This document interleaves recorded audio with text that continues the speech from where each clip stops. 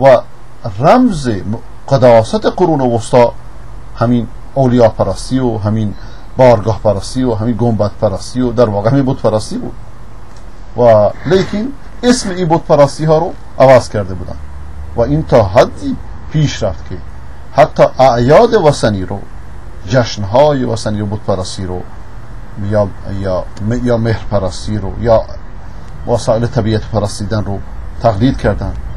تا حدی که در سال 400 میلادی یه ایدی درست کردن برای خورشید که که در واقع همین عید خورشید رو تبدیل کردن به عید میلاد مسیح.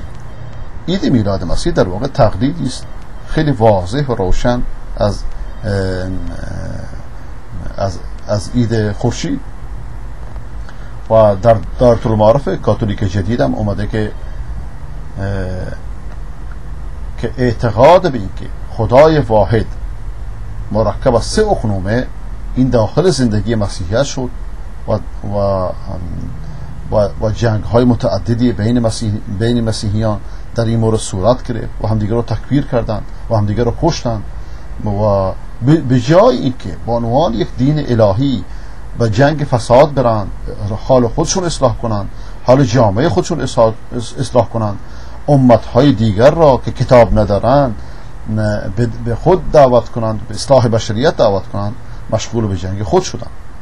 این هم وضعیت دینی مسیحیان بود.